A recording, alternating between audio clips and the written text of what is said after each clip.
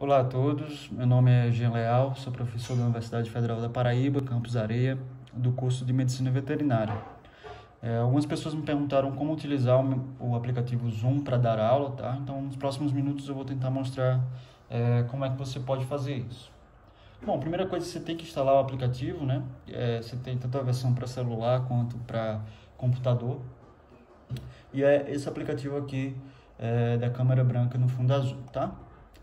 Então, depois que você instalou, que você criou uma conta, é, isso é muito importante, porque você tem que falar para os seus alunos também para não somente instalar um aplicativo, mas também criar uma conta do Zoom, tá?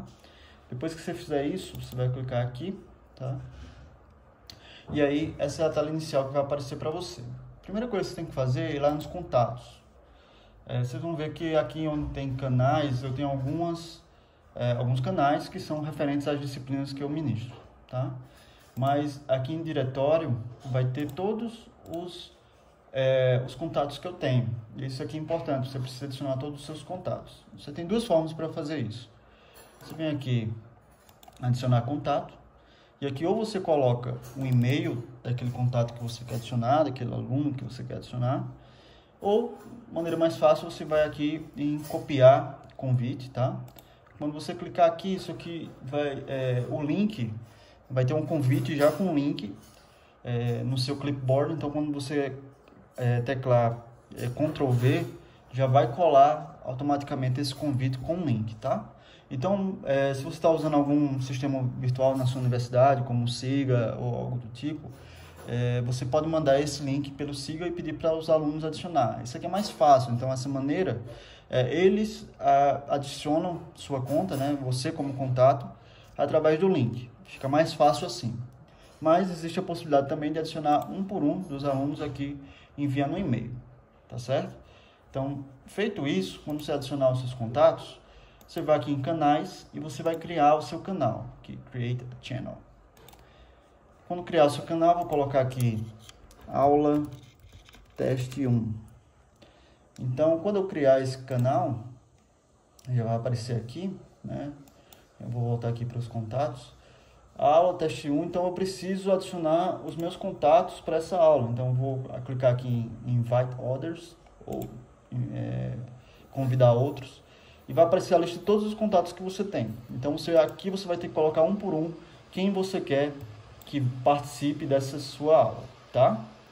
É, então feito isso, então, primeiro repetindo aqui, você tem que adicionar os contatos, né, ou eles te adicionarem, você tem que criar um canal para sua aula. Quando você criar o canal para sua aula, você vai adicionar aqueles contatos para a aula que você quer. Porque assim, eu tenho toda a minha lista de contatos, mas aqui eu tenho aulas que eu dou só na pós-graduação, aulas que eu dou só na residência, aula que eu dou para o, o, quarto período de medicina veterinária, ou para o oitavo. Então você vai é, selecionando os participantes para cada um desses canais que são referentes a uma determinada disciplina que você ministra. Bom, Feito isso, então eu vou aqui para o começo, eu vou começar uma reunião, tá? Então, é, aqui na aula teste 1, eu vou iniciar uma reunião. Então, vou, quando eu fizer isso, vai chegar um convite é, para todos, tá? Vai chegar um convite para todos, é, para que eles, eles participem da aula aqui. E aqui eu, eu tenho duas possibilidades eu posso, se você estiver fazendo transmissão ao vivo, né, eu posso aqui em Share Screen, então posso compartilhar a tela. Eu posso compartilhar a tela toda, ou eu posso vir aqui avançado e compartilhar uma porção da tela, tá? Então, vamos mostrar como fica. Se eu compartilhar a tela toda, eu vou ter minha barra de tarefas aqui em cima. É, e os alunos vão ver tudo que está acontecendo aqui na minha tela do computador, tá? E eu vou aparecer aqui no cantinho é, ao lado. Se eu escolho, eu vou aqui em avançado, escolho porção da tela, vai aparecer esse quadrado verde. Então, só o que eles vão ver vai ser o que tiver nesse quadrado verde. Então, uma coisa que eu gosto de fazer, aqui eu abri um PowerPoint, tá? Tem uma aula minha é, aqui já. Então, a única coisa que os alunos vão ver vai ser o que está nesse PowerPoint aqui no que está dentro do quadrado verde no PowerPoint.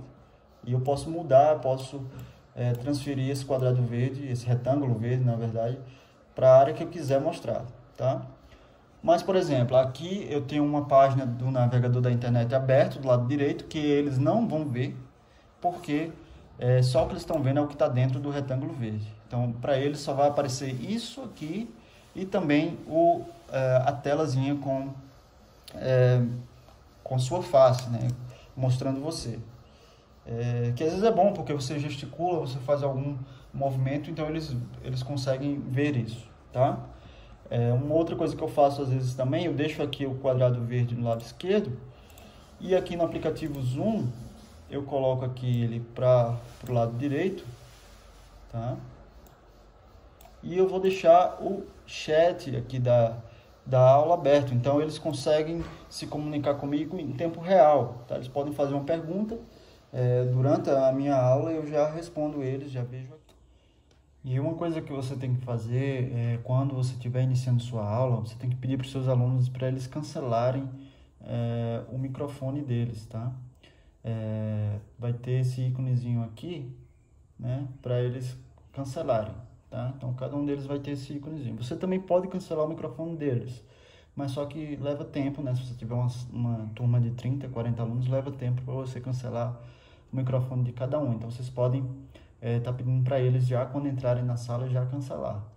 Daí, se você precisar que é, você quiser fazer uma pergunta individual para alguém, você pode então liberar é, o microfone e aí você vai escutar ele perfeitamente e o resto da turma também, tá? E uma outra coisa também, se você não cancela o microfone de todo mundo ao iniciar a aula, vai começar a dar microfonia, né? vai ter muito barulho é, ocorrendo. Então é bom sempre, nisso toda a aula, já pedir para eles cancelarem, deixar o microfone deles no mudo, tá? É, isso aqui então para aulas é, para aulas em tempo real, tá? Mas você tem uma outra possibilidade aqui. Você pode vir aqui em More e você pode clicar em Record, tá? Então eu cliquei aqui, então você vai ver que tem esse íconezinho aqui em vermelho agora, né? Então a partir de agora tá gravando aqui tudo que eu estou falando, tá? Ele vai criar um, um arquivo é, MP4 no final é, que você pode estar tá disponibilizando para eles. Então é uma possibilidade. Se você não quer transmitir uma aula ao vivo, você pode também gravar a aula e tornar disponível é, para eles, tá? Eu acho que é esse o básico aqui do, do aplicativo Zoom. É, espero que tenha ajudado um pouco.